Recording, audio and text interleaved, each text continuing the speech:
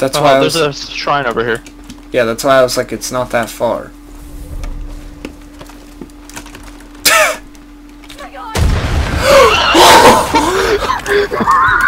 my god!